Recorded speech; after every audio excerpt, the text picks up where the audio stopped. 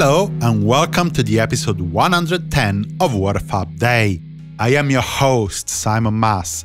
Today, among other things, we have an irate letter, several studio sessions, and an unseen scene.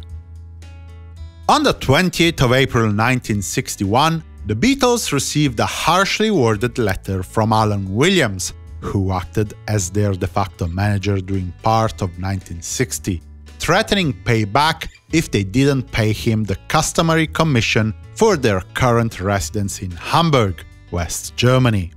In all fairness, the agreement between Williams and the Beatles had always been unwritten. What's more, the band had stopped employing Williams's services for months, finding and negotiating gigs on their own, including their second visit in Hamburg.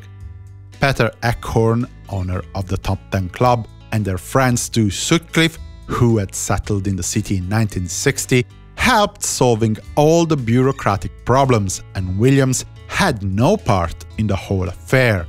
Requiring payment for work he had not done was rather cheeky, but nothing terribly uncommon. Managers used to take advantage of their customers in the 1950s and early 1960s. In any case, the lads kept their performance schedule at the top 10 club, without missing a beat. One year later, in 1962, Pete Best, George Harrison, John Lennon and Paul McCartney enjoyed their only day off of their third stint in Hamburg. 1963 the Beatles were on the stage of the Mersey View Pleasure Grounds Ballroom in Frodsham. Despite being only a small town in Cheshire, the ballroom was a popular destination for touring bands at the time. On the 20th of April 1964, Paul McCartney was at the Jack Billings TV School of Dancing to film his own solo sequence for A Hard Day's Night. The sequence saw Paul, looking for Ringo, finding himself in a rehearsal room talking with an actress, Isla Blair, who had been practicing her lines. The scene was cut from the final edit of the film because it wasn't convincing enough.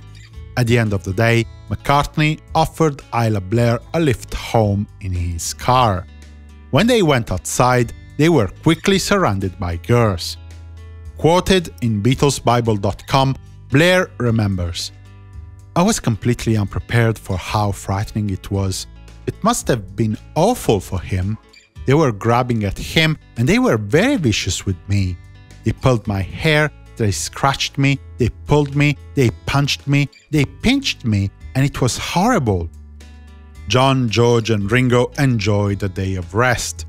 Meanwhile, George Martin and his crew produced mono and stereo mixdowns for a hard day's night, working at the EMI studios between 2 and 3.15 pm.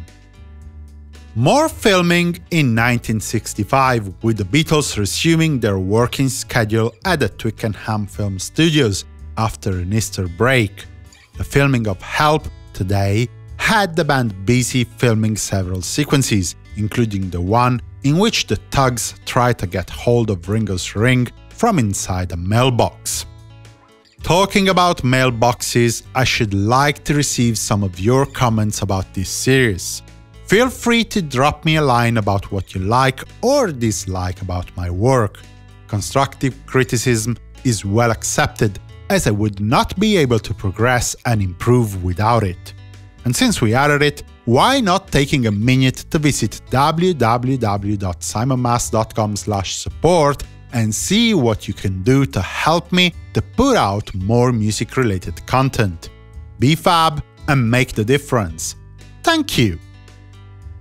On the 20th of April 1966, the Beatles started recording two new songs in a 12-hour session in Abbey Road, starting at 2.30 pm. John Lennon's And Your Bird Can Sing took the bulk of the attention with two rhythm tracks. They featured a 12-string guitar part inspired by the work of the Byrds and were almost completed if it wasn't for the lead vocal part, which John and Paul couldn't put down to tape without laughing. Two mono mixes were completed before the end of the session, and the second, deemed best, was released on the Anthology 2 album in 1996. In addition, four practice takes of George Harrison's Taxman, two of which incomplete, were consigned to tape before the session was wrapped up at 2.30 am.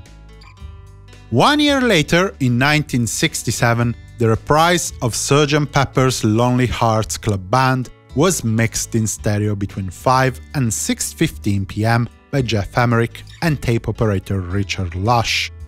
George Martin arrived with the Beatles at 7 pm to work on Only a Northern Song, erasing some of the material recorded along take 3 on the 13th of February and overdubbing a bass, a trumpet and a glockenspiel, reducing and mixing down the material onto take 11 and adding vocals. The producers of the Yellow Submarine film, for which the song was destined, were present in the studio, but they were not particularly impressed by Paul McCartney's trumpet playing. The session was wrapped up at 2.15 am.